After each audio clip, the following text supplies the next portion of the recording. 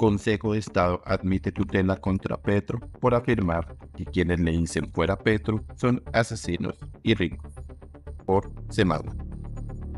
El pasado 26 de agosto llegó una denuncia a la Comisión de Acusación en contra del presidente Gustavo Petro por el presunto delito de incitación al odio, tras sus palabras contra quienes han gritado fuera Petro en diferentes escenarios del país. La acción la presentó el activista del Centro Democrático Josías Piesco, quien argumentó que desde la Casa de Nariño hay una estigmatización en contra de quienes no respaldan las políticas de Petro. Además, presentó una acción de tutela ante el Consejo de Estado para que se le pida al mandatario que se retrate en los próximos 15 días. Términos señalados por la ley al señalar como asesinos a quienes marchan contra las iniciativas de su gobierno en contravía de la sentencia T-391 de 2007 de la Corte Constitucional y SP-2685 del 2020 de la Corte Suprema de Justicia. A juicio activista, el presidente Petro no puede usar calificativos en contra de los ciudadanos que se han expresado libremente en los diferentes escenarios del país y le recordó que Colombia todavía es una democracia.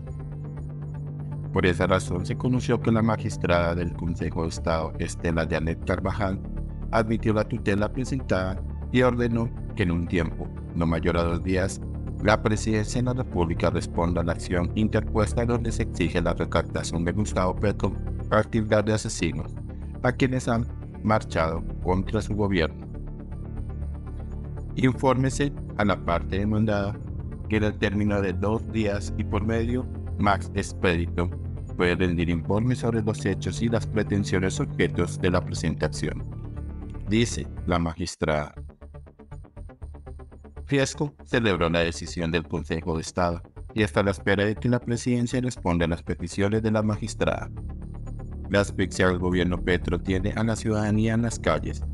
El paro camionero por las vías del país muestra la indignación ante un gobierno indolente la defensa de Colombia es una causa nacional que se ha expresado en los estadios.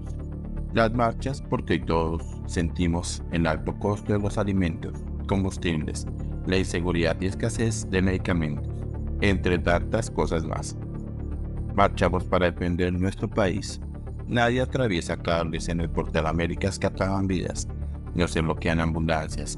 Se respeta el comercio, dijo Fiesco. En ese sentido, se anunció que la oposición está preparando para el 22 de septiembre una gran movilización ciudadana en contra de las políticas del gobierno